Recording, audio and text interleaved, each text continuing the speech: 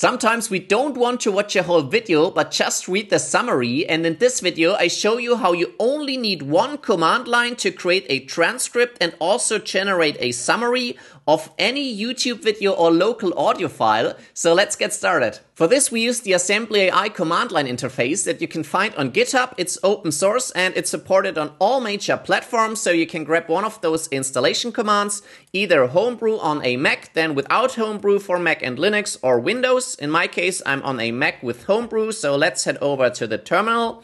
And with Homebrew, you say brew tap and then assembly AI slash assembly AI. I already did that. So after that, you can say brew install assembly AI and this will install the latest version. So in my case, it's already installed. So now we can start using it. After the installation, we have to configure it with an API token. So we can say assembly AI config. And now we grab an API token that we can get for free at assemblyai.com. There's also a link in the description below. And now here in your dashboard, you simply copy your token and then paste it here. And now you hit enter and this will store the API token.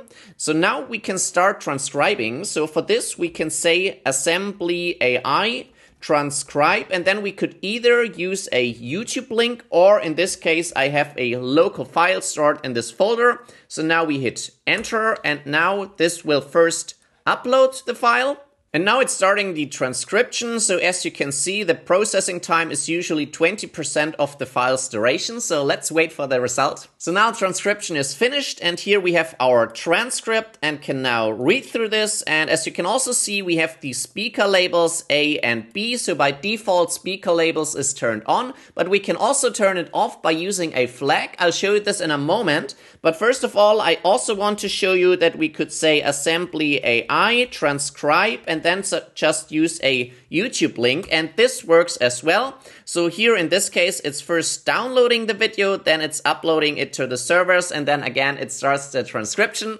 And then again, after waiting a few moments, here we have the transcript. Now let's look at the different possible flags we can use because on top of the transcription, we can also turn on powerful AI models. For this, we can go to the documentation on GitHub and look at the possible flags. For example, we can say minus minus auto chapters. This will generate a summary over time. We have auto highlights, content moderation, entity detection, and a lot more. So let's try this out. So let's say assembly AI transcribe, and then we can say, for example, minus minus minus auto highlights and minus minus entity detection and hit enter. And then again, let's wait for the result. And then again, here we have our transcript back, but now in addition, in the end, here in the bottom, we see the highlights that it detected and also the entity detection. So it found some locations and organizations. So this is pretty cool. So for this, again, play around with different possible flags and see how the results look like. And the last thing I want to show you is my personal favorite feature. We can also say assembly AI transcribe and then the video link and then minus minus summarization.